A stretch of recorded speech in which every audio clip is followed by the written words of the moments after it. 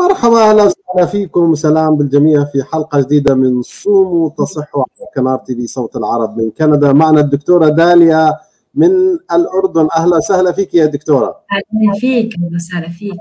شرفتينا ونورتي كنار تي في. امبارح الحلقة كانت رائعة والجمهور كله طلب الدكتورة مرة ثانية فنتشرف إنك وجودك معنا يا دكتورة. أنا بتشرف فيكم وإن شاء الله هي قطعنا نص رمضان فكل عام وأنتم بخير إن شاء الله النص الثاني يكون مليء بالطاعات والخير وإن شاء الله يعني تدوم الفرحة عليكم وهداة البال يا رب. آمين يا رب العالمين. دكتورة داليا اليوم أنا بعرف إنك محضره لنا موضوع مهم جدا وهو الأمراض المزمنة في رمضان وخاصة في عصر الكورونا. إحنا يعني عم بنمر في وقت غير طبيعي.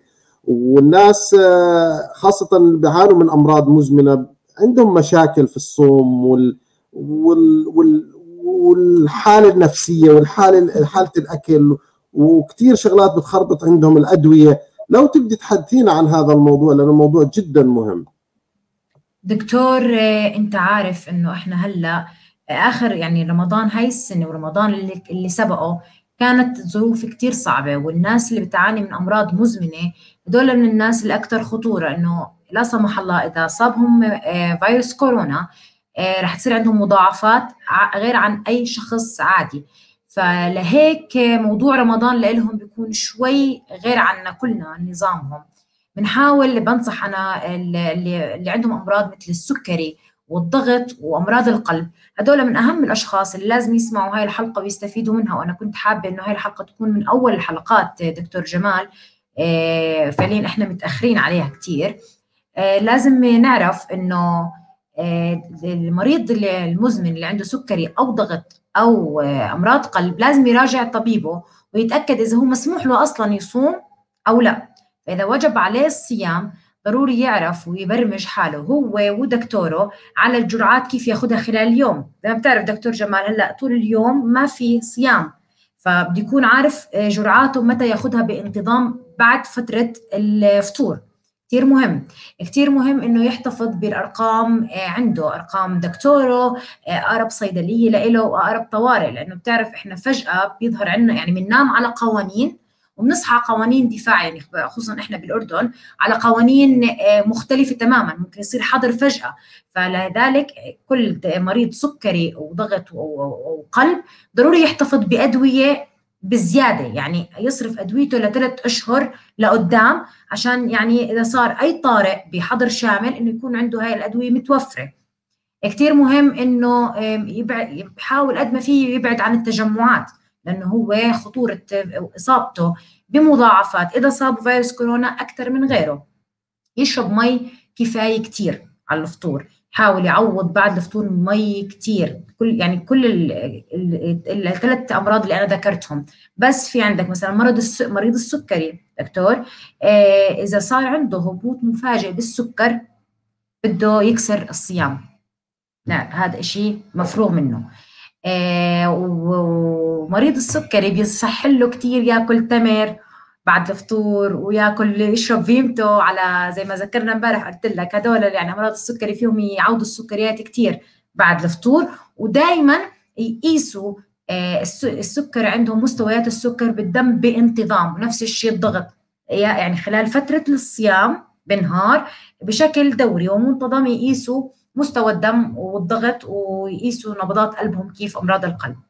أمراض القلب والضغط بدهم يتجنبوا قد ما فيهم يبعدوا عن الأطعمة اللي فيها صوديوم وملح. لأن هذا الشيء بيأثر كثير عليهم بيأثر على القلب بيأثر على مريض الضغط. هذا الشيء كثير بده ينتبه ينتبهوا لها. في شغلة كثير مهمة دكتور لازم أي مكان هدول الأشخاص اللي بيعانوا من هاي الأمراض يحاولوا يعملوا يعني يعملوا لهم بطاقة تعريفية. يكون عندهم بطاقة تعريفية. تعرف لأي مكان بيكونوا فيه إنه هم ممكن يتعرضوا لأي خطر أو مثلا ينزل مستوى السكري أو هبوط يعني إذا مثلا مرة كبيرة بالسن بدها تروح تشتري أغراض خضرة من السوبر ماركت أه تكون حاملة هاي البطاقة التعريفية. بحيث إذا صار فجأة مثلا أغمى عليها خلال فترة الصيام يكونوا الأشخاص اللي حواليها قادرين يسعفوها ويتعاملوا مع الموضوع بطريقة أسرع. عشان نتجنب أي أه أي مثلا أي مضاعفات لا سمح الله. أنا بستنى سؤالك. واضح واضح دكتورة. طيب السؤال اللي بعده آه، أنت حكيت شوية عن يعني مرض يعني هدول الأمراض للأسف منتشرين كثير في المجتمع. بالضبط صحيح. وخاصة آه، الأمراض هاي المزمنة عند كبار السن. صحيح. آه، شو الحلول اللي ممكن يسووها كبار السن؟ عشان آه، أو أو أهلهم خلينا نحكي لأنهم يمكن برضه آه، ما يصحى كل يوم يفحص السكر أو يفحص الضغط أو يمكن يفحص الضغط اليوم وهو قاعد بكرة هو نايم بعده الساعة 10 اليوم اللي بعده الساعة 4 وهذا طبعا بيأثر على القياسات. صحيح. لا دكتور بدنا ننتبه. يعني هدول الكبار بالسن اللي عندنا بالبيت هدول بركتنا. بدنا نحاول إذا هم ما بيقدروا يهتموا بحالهم وبنسوا مواعيد بدنا نحاول نحط على تليفوننا ريمايندر آه، إنه يذكرنا مثلا كل ساعتين أو كل ثلاث ساعات نقيس هاي الأمور. هاي الأمور مش لعبة أنت عارف يعني إحنا وما ومش في كورونا كانوا هدول الأشخاص شوي يعني الصيام أصعب من غيرهم فما بالك بوضع كورونا. يعني كورونا آه، في أمور كثير إحنا ملزومين فيها صحيا واداريا ودوليا. هذا الشيء بيخلينا نوصل آه، أي شيء بدنا نوصله بنوصله بوقت أكثر بجهد أكثر فإحنا لازم لذلك إنه نحاول دائما الوقايه خير من قنطار علاج. نحاول دائما إحنا نوفر عندنا الإسعافات الأولية بالبيت آه، يكون دائما موجود التمر. عشان إذا صار مثلا لا سمح الله هبوط بمستوى السكر بالدم آه، حتى التمر بترفعه.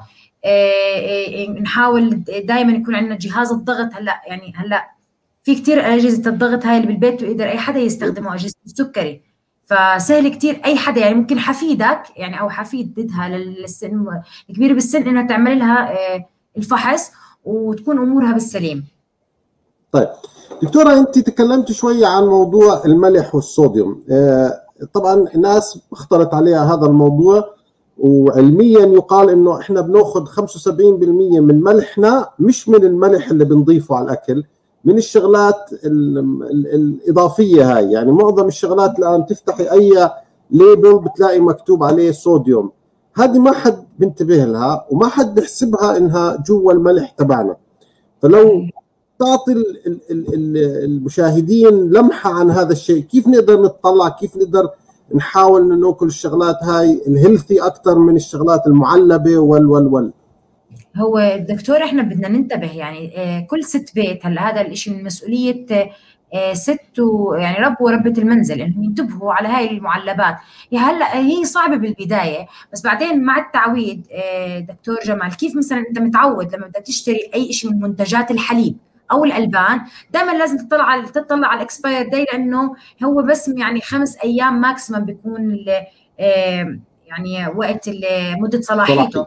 فأنت زي ما متعود هاي الأمور يعني صار تحسها روتين بهاي الأشياء. بدك تتعود أنت إذا كان عندك مرض مريض قلب أو مريض ضغط إنك تنتبه على المعلبات آه، تخفف من المخللات. يعني هو مش الملح بس الملح اللي بنرشه على يا ريت الملح بس اللي بنرشه على الأكل. هو الملح بيجي من كل المعلبات حتى المعلبات نحاول كثير مثلا نعملها آه، غلي قبل مرحلة الطبيخ آه، إذا في عندنا معلبات مضطرين عليها نجيبها إذا ما قدرنا نجيبها فريش آه، نغليها مرة بنخفف من الملوحة فيها وبنخفف من الصوديوم. ما تنسى لأن مضطرين الشركات الإنتاجية إنها تحط هذا الشيء حتى تحفظه لوقت أطول. فهي يعني هن مضطرين وإحنا مضطرين نشتري فإحنا بس نحاول نحافظ على الأمور under control إذا كان عندنا هذا إذا كان متوفر عندنا بأفراد العائله مريض سكري مريض عفوا ضغط أو قلب بهاي الأمور يعني. مهم كثير ننتبه أنا عندي دكتورة ثلاث علب هيك جبتهم هذا رب بندوره okay؟ الصوديوم فيه 33% إذا شايفينه 33%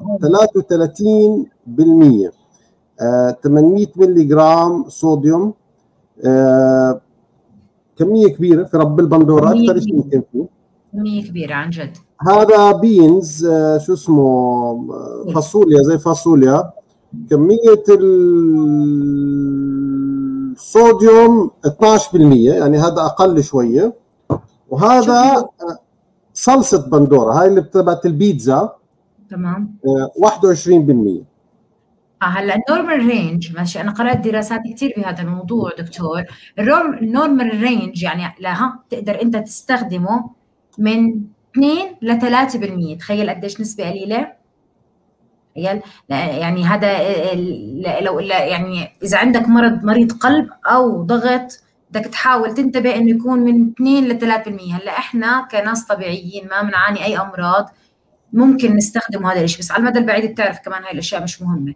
فالوحدة بس لو إنها مثلا تجيب لها آه، كم من بندورة مستوية من السوق تعمل هي صوص البندورة أفيد لها بكثير وأحسن لها بكثير من تشتري هذا المعلب. يعني هذا المعلب حديد للاضطرار الاضطراري يعني تستخدم مضبوط. يعني حتى إحنا المعلبات هاي يمكن آه، فيها شغلات ثانية مواد حافظة. إحنا مش عم نحكي الآن عن كل هاي الشغلات بس آه، يعني كل ما كان الشغله فريش وهوم ميد صح يمكن ما تطول وراح بدها شوية صعوبة لأنه هاي بتسهل علينا. أنا متأكد بين يعني ربة المنزل تستسهل رب البندورة هذا أو صلصة البندورة. تفتح العلبه بتحطها على الأكل وانتهى الموضوع. لكن الأذى اللي بتسببه كبير كثير للعائلة طبعا. خليني أحكي لك نصيحة. أنا مش ربة منزل قبل ما نسكر بس. أنا مش ربة منزل بس لأني بقرأ كثير فبحاول أفيد أمي بهاي المواضيع. آه، رب البندورة اللي معك تمام؟ مش بس انسى المواد الحافظة هو لأنه حفظه بمعدن هذا عليه أصلا question mark بالنسبة لي لحاله. فإذا مضطرة وبدك تستخدمي صوص البندورة مش fresh يفضل تستخدميه اللي مباكت بورق كرتون أحسن يعني مش إنه أحسن وأفضل من اللي مبكت بمعدن انت عارف يعني لما يكون في عندك الإكسباير دي يعني ثلاث سنين يعني ممكن تشتريه انت بال 2021 ومكتوب الإكسباير دي بال 23 يعني هذا بضله قاعد آه، إنه عارف كيف لما تحفظ شيء بمعدن كمية الامتصاص اللي بياخذها برب البندورة أو المواد اللي جوا المعدن قديش قوية؟ يعني من هون لثلاث سنين. فإنه نفضل يعني إذا مضطرة تستخدم اللي بكرتون بيجي هيك معلب بكرتون. آه اللي آه يا موجود الآن بالأسواق في كل مكان.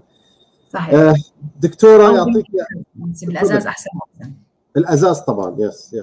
آه لأنه في particles تبعت الألمنيوم كمان ممكن تدخل بالجسم.